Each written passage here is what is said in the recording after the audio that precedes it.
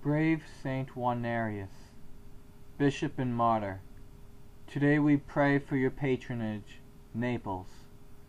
At the age of fifteen you became a priest. At the age of twenty you became a bishop. Pray for the youth of Italy, so that many men and women enter the religious life. When you became a priest, your region was very pagan.